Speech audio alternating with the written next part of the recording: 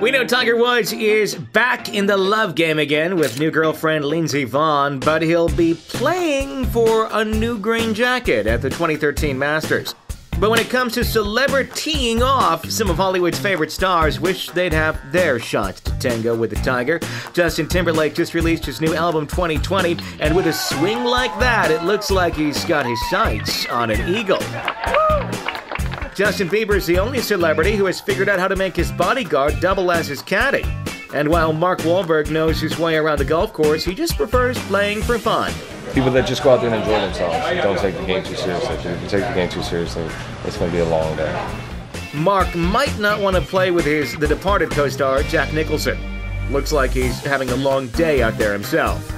When it comes to the links, maybe all celebrities should just take some tips from Pete Wentz and stick to the mini golf course, because none of them will ever be like the Cinderella story himself, Bill Murray.